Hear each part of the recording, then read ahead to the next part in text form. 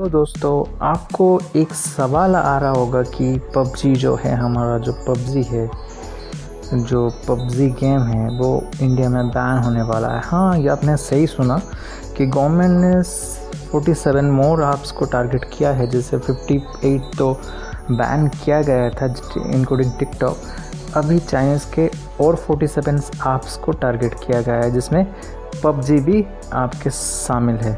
तो आप ये टाइम्स ऑफ़ इंडिया और गैजेट ऑफ़ इंडिया के आप पढ़ सकते हो, ये न्यूज़ तो आ रहे और बहुत सारे वीडियो भी है।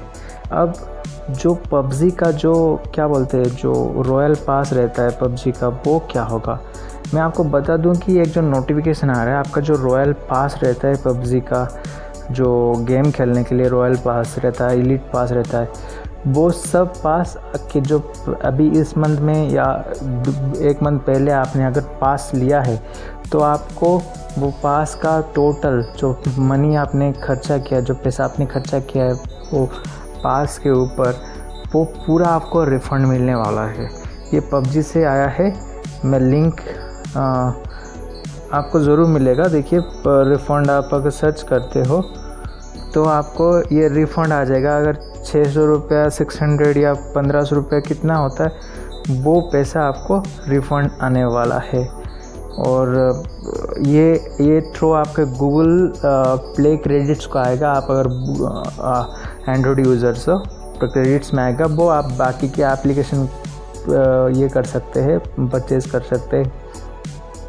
और और एक चीज़ जो आ रहा है, बहुत सारे वीडियोस बन रहे हैं कि हाँ पबजी देखो, पबजी बैन होना चाहिए कि नहीं, मैं ये नहीं बोल सकता क्योंकि मैं नहीं खेल रहा हूँ।